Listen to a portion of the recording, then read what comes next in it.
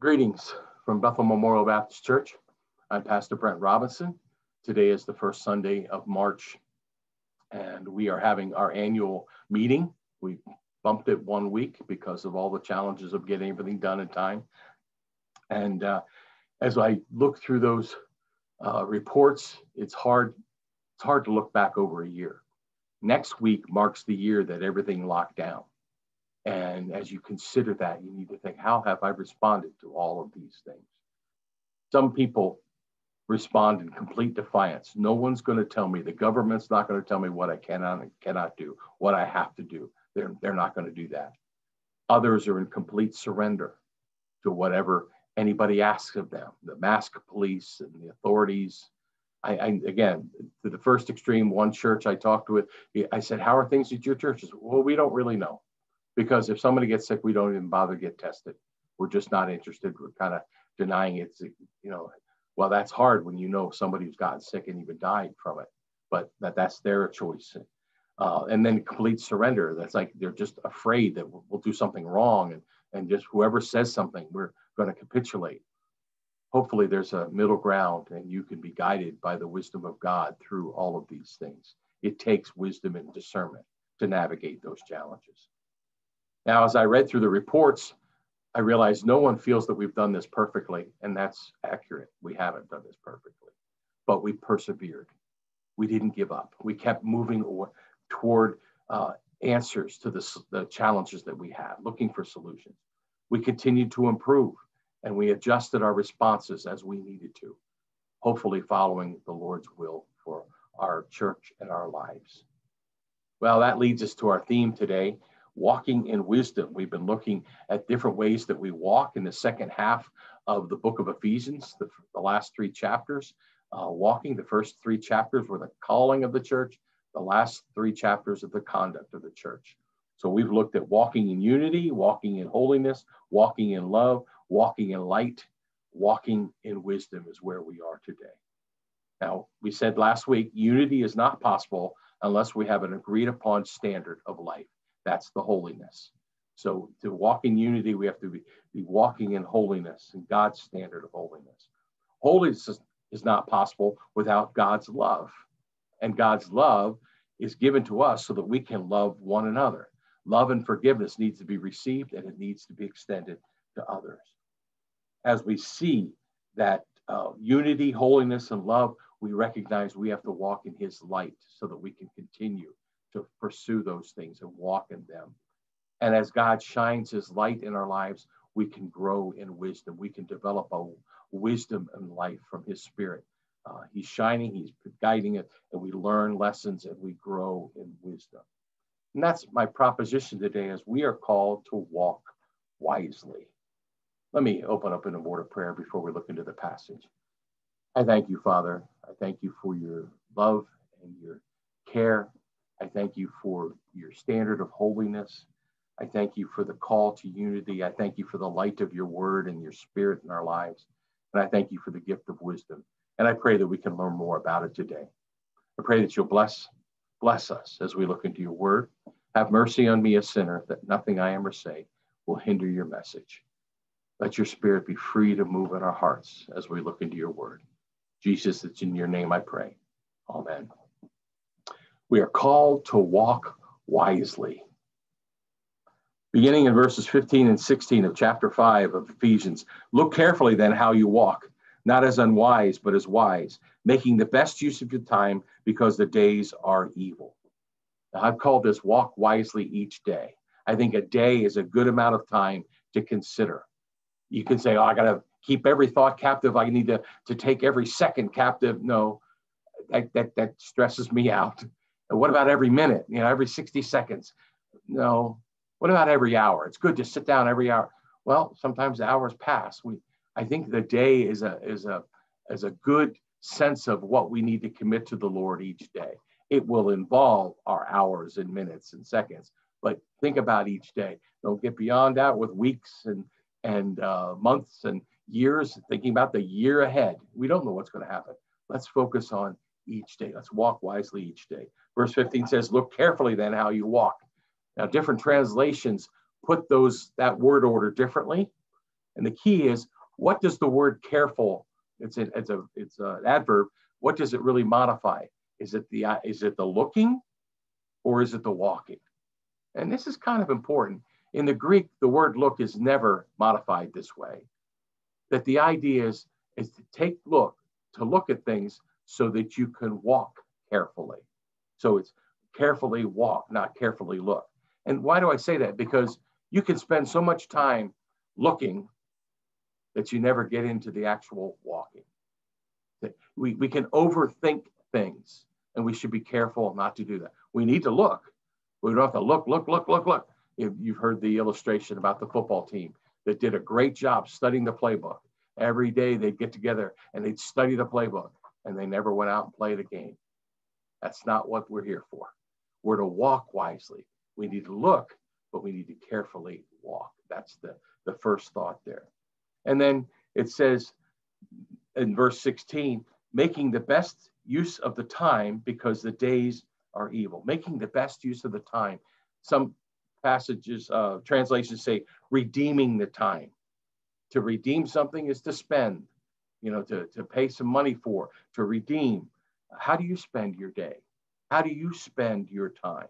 I, I thought of so many ways to, to do this. I, be efficient, be industrious, be productive, be fruitful. And there, there was something I didn't like about each one of those. And then finally, when I was studying something else, all of a sudden it hit me. Be disciplined. Be disciplined in the use of your time. Think about how you spend your time. You've heard that question. What if today were the last day of your life here on earth? How would you live it? And I've heard about the song Tim McGraw wrote called Live Like You Were Dying, where he meets a man who knows that he's dying. And he said, he said, I pray that everyone gets a chance to live like they were dying, that they really focus on what it is that, that they're doing for, for that day. How do you spend your time to think about uh, spending it wisely and letting God take each day of your life? Then we're also called to be different. The days are evil. The days are evil. Uh, this weekend, Friends of Israel has been doing a teaching on the book of Revelation, eight sessions, and it's been fun. You can look it up on their website. I think it'll be up until March 20th or 21st. Just an opportunity to study a book that everybody's thinking about, wondering are we in the end times and all those things. But one of the things they talked about, there are two witnesses that are given by God to the, the, rebellious world to preach uh, repentance and say, turn back to God. Well, after their ministry, they are killed. And it says that the whole world rejoiced at their death. They gave gifts to one another in celebration. It's like they, they made a whole new Christmas holiday uh, about the death of these two prophets of God. It just astounded me when I heard it that, that, that the world is evil. So we are called to be different from the world. We have to be careful and that we walk wisely. We need to be disciplined in how we use our time. We need to know that we're going to be different from the world. That's how we walk wisely each day. That's a tremendous challenge when you think, again, thinking about don't get overhead, get ahead of yourself. Just think, Lord, every day I want to get up and commit that day to you. That there's one other thought when I talked about redeeming, thinking about redeeming the time. What about my choice to rest? I just started exercising again in the pool. And, and as I think about exercise, I had a roommate in college that was a wrestler. He said, You need to work your muscles and then you need to rest them. If you do a, a weightlifting thing, it's good to give a whole day in between to let them catch up and rebuild.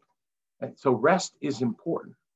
So if I'm sitting down doing something mindlessly that doesn't seem productive, doesn't seem efficient, doesn't seem to be very disciplined, is that okay?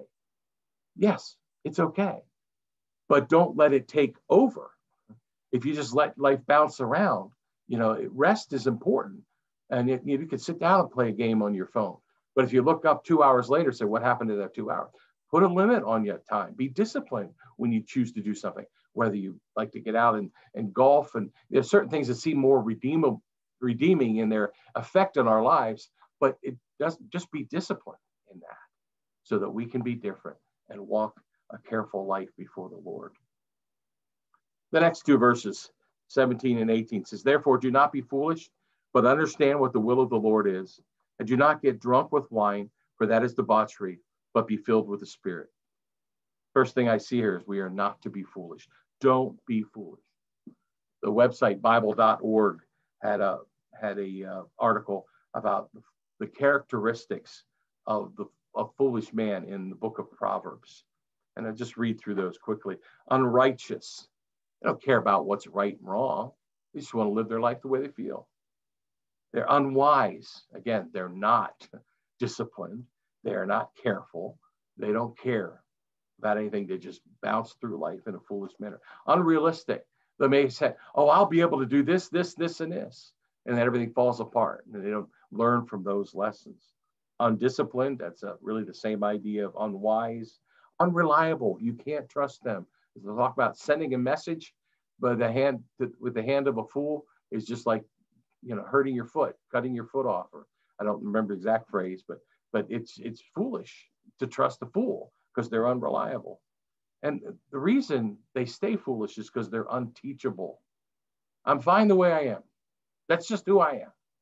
They're not willing to learn. They're not willing to, to seek to grow. And in that stubbornness, they are actually unpleasant. They don't realize how they come across the people, the foolish people.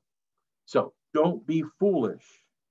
But then this next phrase, but understand what the will of the Lord is. Don't we all wish we could do that? What does it mean to understand what the isn't that, that our daily define God's will for our life and go on and on? Well, as I was thinking about this, I want to share something that I, uh, from a book I read in college, Gary Friesen, Decision Making in the Will of God. And it's just something that I keep coming back to in my life.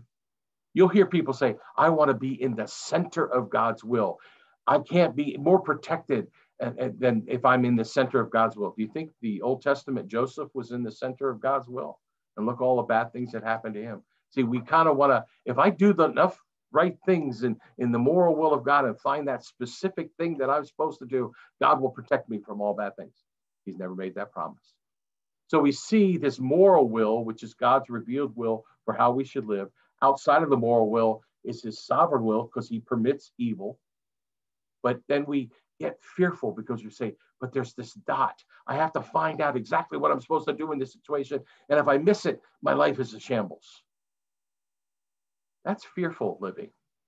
And what Gary Friesen wanted to talk about was the fact that there's an area of freedom and responsibility within the moral will of God, that you, you apply God's moral will to how you are going to live it out responsibly as an individual. It's your individual plan for God's life. And God cooperates with you. Again, I don't know how God's sovereignty and my responsibility go together, but it does. And he give he calls me to things. And even if i make a bad decision his will does not end for me.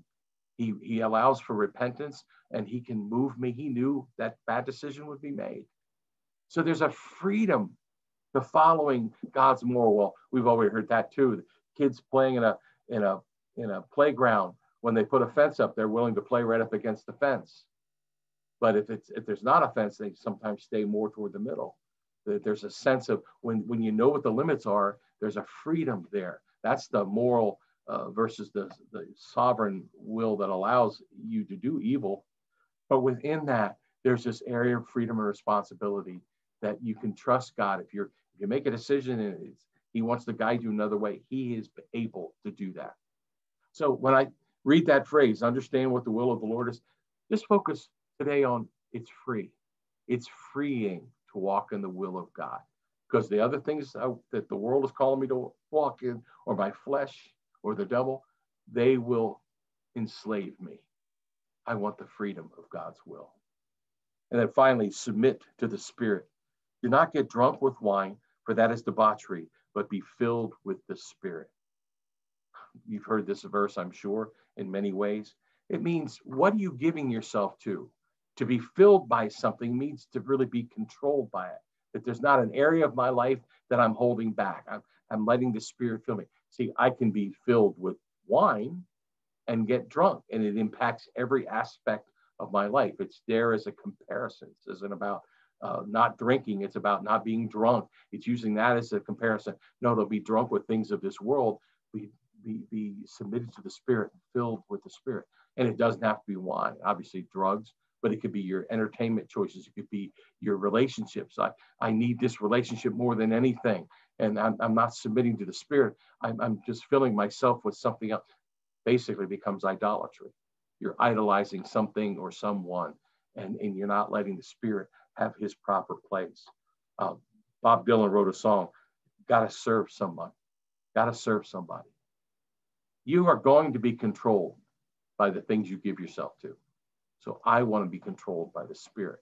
So I'm going to submit to the Spirit. Uh, Colossians 3.16, the companion passage to this passage in Ephesians, uses the phrase, let the word of Christ dwell in you richly. That's a good way to submit to the Spirit. Let the Spirit of God take the word of Christ and let it seep into my heart that I follow him as he guides me according to God's word. Walk wisely each day, walk wisely in God's will, walk wisely in worship. This is so important because we need to see God as bigger and bigger and bigger. We overestimate the evil and underestimate God. In our worship, we learn to, oh, you can't overestimate God. You get a better picture of how powerful He is, how loving He is, how He is with you, all the things about God. We need to worship. So, what does it say in verses 19 and 20? Addressing one another in psalms and hymns and spiritual songs, singing and making melody to the Lord with your heart, giving thanks always and for everything to God the Father in the name of our Lord Jesus Christ. I love this because it's talking about psalms, hymns, and spiritual songs. Definitely music, right? But he says addressing one another. Colossians 3:16 says teaching and admonishing one another. Most translations in Ephesians say speaking to one another. Don't worry about the music, but let the message of music be something you encourage one another with. Like, you know, if you ask people, do you feel comfortable with people hearing you sing? As a lot of people say, no. Well, that's not the issue. Speak to one another in these psalms, hymns, and spiritual songs. Again, these are all musical terms. Psalms are divinely inspired songs of praise. They're the they're they're the scripture. They're inspired as scripture. Hymns are great, but they're not claiming the same inspiration. So there's something that also leads us to praise God and honor Him and thank Him. Many great songs. And then spiritual songs. Uh, the, the idea of songs that edify your spirit, that challenge you, that help you understand uh, more about God. I think about the, the, fact that I like a lot of secular music.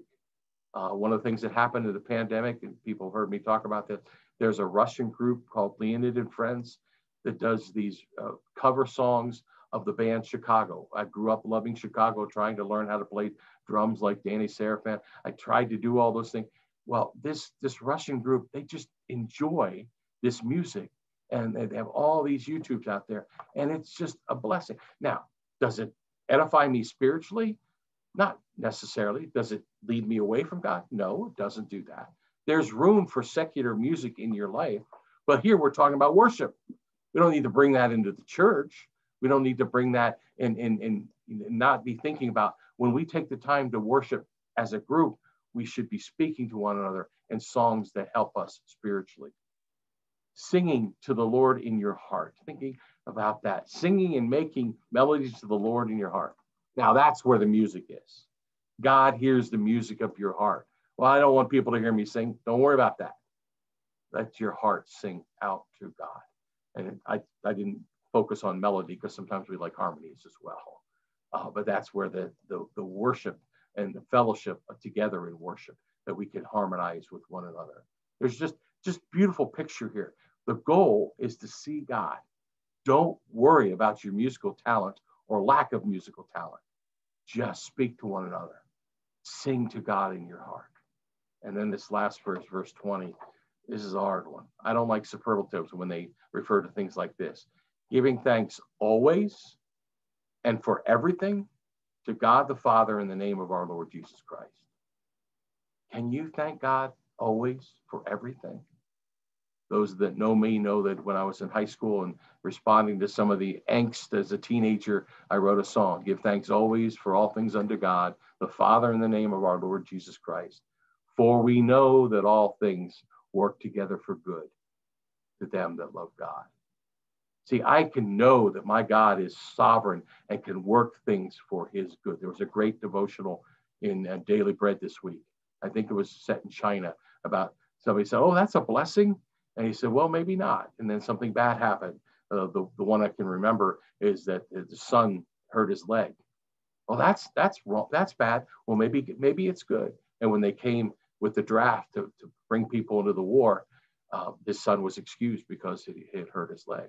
Well, that's a blessing. Well, maybe something else will happen. And it kind of went back and forth and back and forth.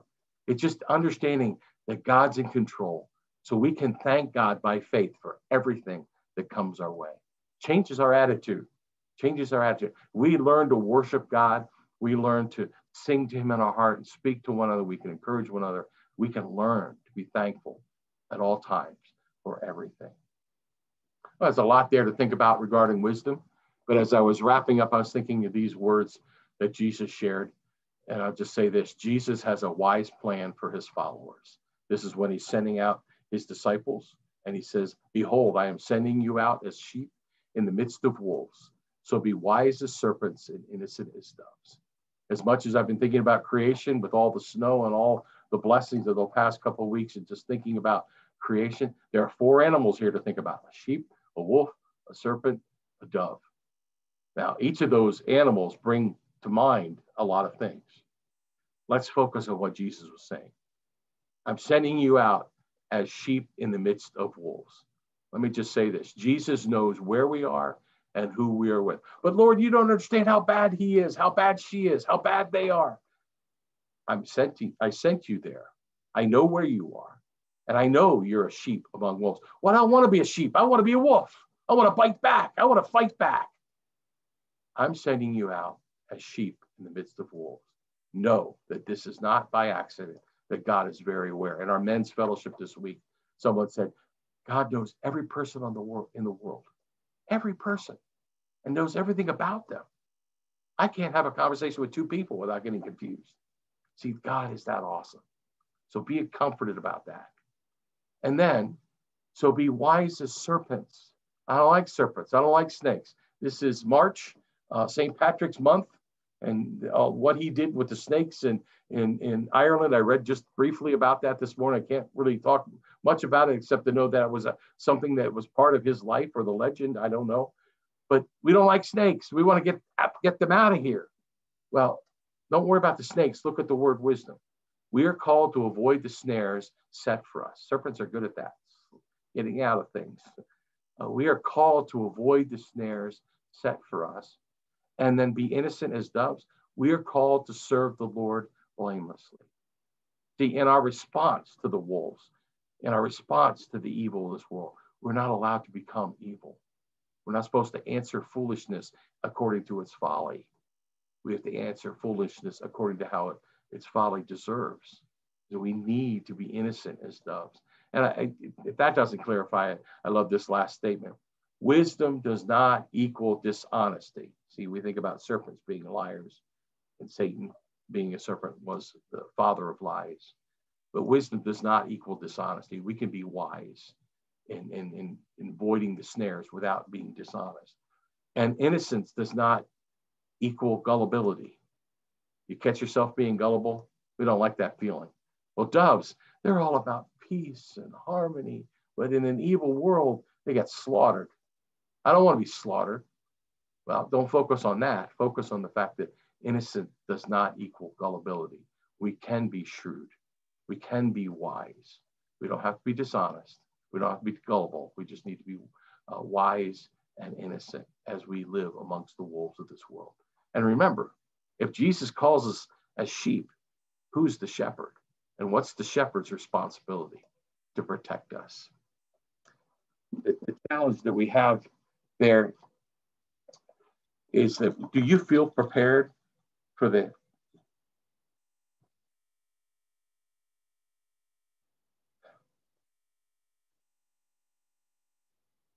Do you feel prepared for the year ahead? How about the month or even just from now until Easter? The recognition that we don't have to live a week at a time. Some people get come to church and say, I'll get charged up and that'll last me for a week. No, we are called to live daily. We're called to live daily with the Lord. Remember to follow his call each day of your life and let him lead you one day at a time. Father, I thank you for this care, and I ask that you would indeed bless us uh, to know that you want to give us wisdom. It's not something we work ourselves into. It's it's following your light and following your uh, love and following your holiness and and the fellowship of uh, in unity with other believers that we can learn to walk in wisdom. Help us to grow in that. Help us to know you better, to submit to the Spirit so that we be filled with your wisdom and your fruit so that we can make a difference and redeem the time that we have. And now may you be filled with the knowledge of God's will and all spiritual wisdom and understanding, so as to walk in a manner worthy of the Lord, fully pleasing to Him, bearing fruit in every good work, and increasing in the knowledge of God. Amen, and God bless.